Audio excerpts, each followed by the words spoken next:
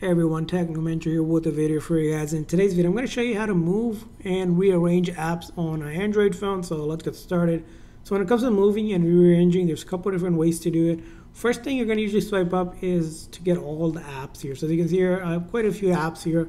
Now, one thing is you might want to add an app to your maybe to your main screen here. In order to do that, all you do is just long press and hold and then it will basically like push through to the screen and then from there on you can like drag it anywhere. As you can see here I have all these spots that open up when I drag it. So if I move it here and arrange it here and then if I didn't like it on this page I can also press and hold slide my finger as I'm holding to move it to the next and then I can do more moving around here.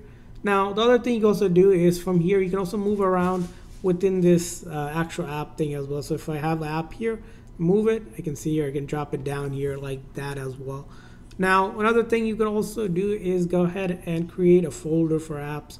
So if you long press and hold, a menu pops up where you can select apps. So you can select maybe two apps and then you can create a folder, right?